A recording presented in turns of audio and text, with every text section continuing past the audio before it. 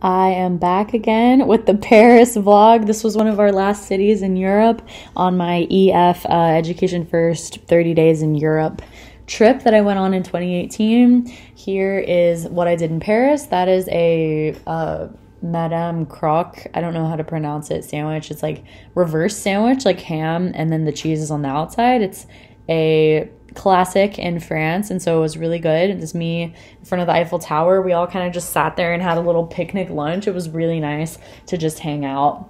Again, the public transport in Paris was awesome. We got to take the more inner city trains as well as some big kind of suburby trains. It was really, really cool to kind of feel like we were living there and just taking these trains and stuff. The Eiffel Tower was obviously amazing. That's my friend Jenna. We're still friends. Uh, everybody I went on the trip with was strangers, so it was really cool to make some actual friends out of this. This guy just came and played for us outside of our dinner,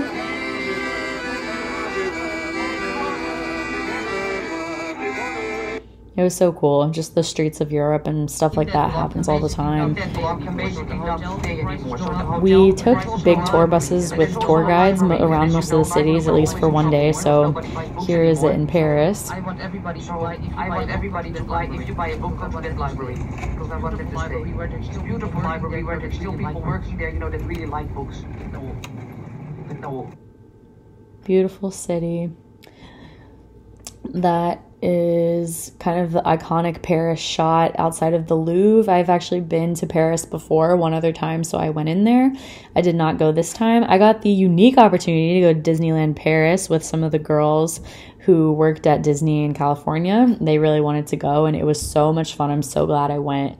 I got this little Stitch doll. I'm obsessed with Stitch from Lilo and Stitch, so it was really cute. And that was a shot from one of the rides we went on. We went on a ton of different rides at Disneyland. It was just really fun to see all these people from all over the world there. And just me and the girls here. I'll just kind of let some of the camera footage roll. But Paris was pretty rainy as well. For the most part, it rained really bad when we were at Disney World, but it was still fun, of course, and just like feeling like a little kid again and just having a lot of fun. Me on a ride. it was me and three other girls. Yeah, so me in front of the big castle. And it was nice to go with people who worked at Disneyland, those two girls in the front, because they really knew what they were doing. And me and Anissa in the back were just kind of like, okay, we'll try. yeah, it was so much fun. Just some more pictures of that. You can't really see my nose there.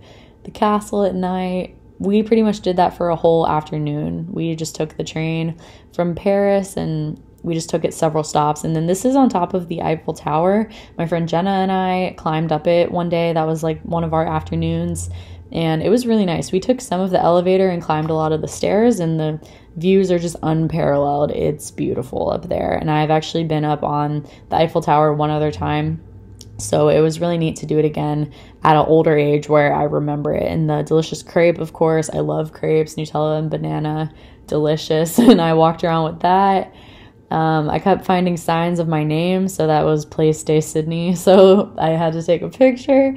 Uh, some more pictures of food, and then this was just a cool street yeah, I had a fun time in Paris. Stay tuned for the rest of the pictures from my trip and overall review. I really enjoyed having a tour guide and having the buses and just being with a, a group of people rather than going by myself, which was my original plan.